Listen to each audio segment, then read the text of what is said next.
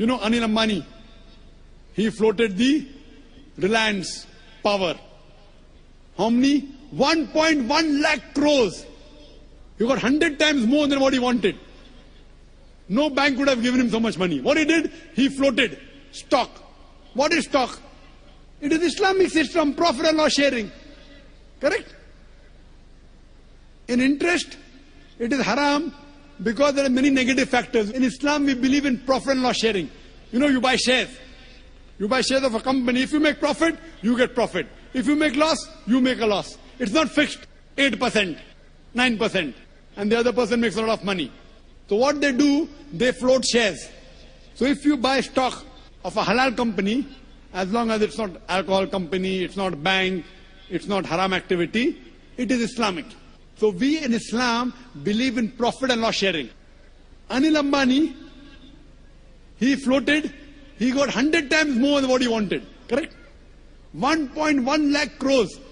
In one hour itself, he got more than 10 times than what he wanted. Why? People thought, okay, if I invest with Anil Ambani, I'll not get that fixed 8%, 9%, 10%. I'll make 20%, 30%, 50%. You know, and the mutual funds, if you're a banker, JM Basics, number one, 116% in one year. So what in Islam we believe? In profit and loss sharing. That there is in riba, fixed interest, fixed amount on money earned on money lent is haram. For more details, refer to my video cassette, Interest-Free Economy Promulgated by the Quran. That's the reason if you change your bank from a conventional bank to Islamic bank, inshallah you'll have Muslim customers. Inshallah. And today, the Indian government, the RBI, the finance minister, hasn't given permission for a true Islamic bank. But there are people approaching him. I myself spoke to Chidambaram when he came to Saudi Arabia. And there are high possibilities. Manmohan Singh, our Prime Minister, initially he was the finance minister. He understands finance better. There are high possibilities, inshallah, inshallah. He is studying the system. Along with the Prime Minister, Manmohan Singh, and the Finance Minister, Mr. Chidambaram, there are high possibilities very soon that we will have Islamic system. And you surely see to, to join Islamic bank. That's the reason today Citibank has Islamic window. HSBC has Islamic window. Most of the international banks have Islamic window. Why? Because there they find they'll make more profit and they'll give more profit to the clients. It is Islamic. So if we follow the Sharia, the Quran and Sahih Hadith, you also earn and you let others also earn. Hope that answers the question, brother. Thank you very much. Yes, brother. My name is uh, Krishna Rao. I am working as a general manager abroad. Luckily today, one of my, fortunately, with, I've come here with one of my friend who has brought me here today.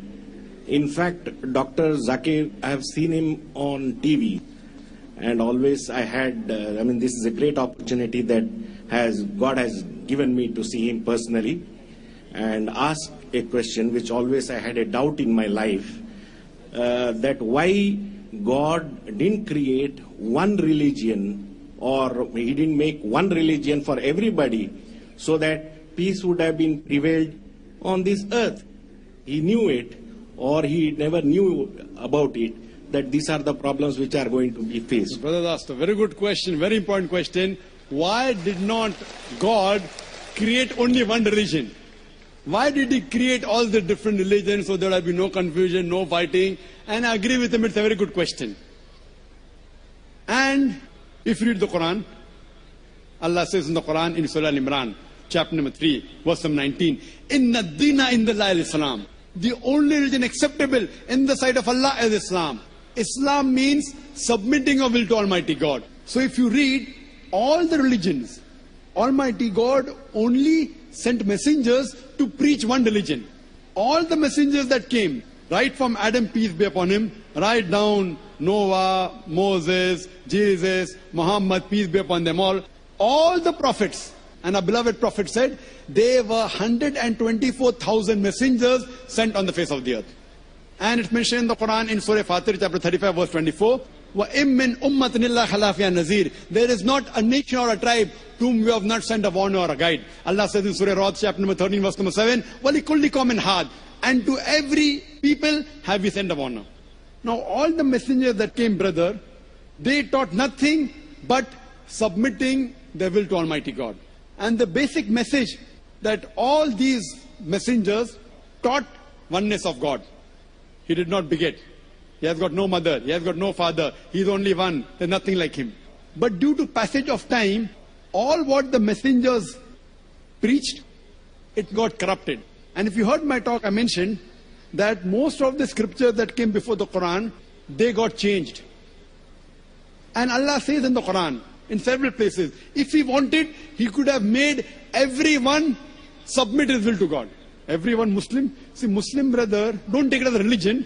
The real meaning of Islam is it's a deen, it's a way of life. Submitting your will to God.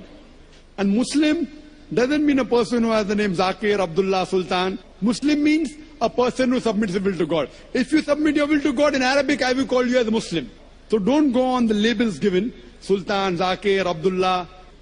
Muslim in Arabic means a person who submits his will to God.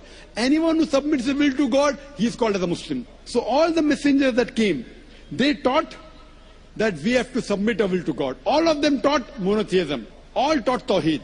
But by the passage of time, all these scriptures kept on changing. And that is the reason Almighty God, He sent the last and final messenger, Prophet Muhammad, peace be upon him. And the last and final revelation, glorious Quran. Now all the messengers that came before, Prophet Muhammad, peace be upon him, all the revelation that came before the Quran, they were only meant for those people and for that time. By name, four are mentioned in the Quran. Torah, Zabur, Injil, and the Quran. Torah is the Wahi, the revelation which was given to Moses, peace be upon him. Zabur is the Wahi, the revelation given to David, peace be upon him. Injil is the Wahi, the revelation given to Jesus Christ, peace be upon him. And Quran is the last and final revelation given to the last and final messenger, Prophet Muhammad, peace be upon him. But Quran also says in Surah Rad, chapter number 13, verse number 38, it says, the kulli ajlin kitab. In every age have we sent a revelation. There were several revelations sent down. But all the revelation that came before the Quran and all the messengers that came before Prophet Muhammad, they were sent only for those people and for that time. That's the reason Almighty God did not think it fit to preserve it. But since Quran is the last and final revelation, not only sent for the Muslims or the Arabs, it is sent for the whole of humanity. And Prophet Muhammad, he is not sent only for the Muslims the Arabs, he has been sent for the whole of humanity. That is the reason he has been prophesied in all the major world religious scriptures. And this book, the Quran, Allah says in Surah Hijr, chapter number 15, verse number 9, we have revealed the Quran and we shall guard it from corruption. So what we realize that Almighty God sent messengers to preach only one religion. That is submitting your will to Almighty God. In Arabic, I say Islam. Jesus Christ never came to preach Christianity. The word Christianity doesn't exist in the Bible. Do you know that? In the full Bible, the word Christianity is not there. He didn't preach Christianity. The word Christian was a nickname given to the followers of Jesus at Antioch, mentioned in the book of Acts. Nickname. So Jesus Christ preached Islam. It's mentioned in the Gospel of John, chapter 5, verse number 30. Jesus Christ, peace be said that not my will, but my Father's will. God's will. In Arabic, he preached nothing but Islam. Similarly, if you read Bhagavad Gita, Sri Krishna said that you have to submit your will to God. If you understand Arabic, he says that you have to accept Islam. So what we realize that all the messengers taught nothing but submitting our will to God. That is the reason the Quran says in Surah Imran chapter 3 verse number 19, in dina in the la Islam, the only way of life accepted in the sight of God is submitting our will to Almighty God. So what we have to go back to the original scriptures. Go back to the commandment of Almighty God and submit your will to the commandment of God and then you will be following the straight path. Hope that answers the question.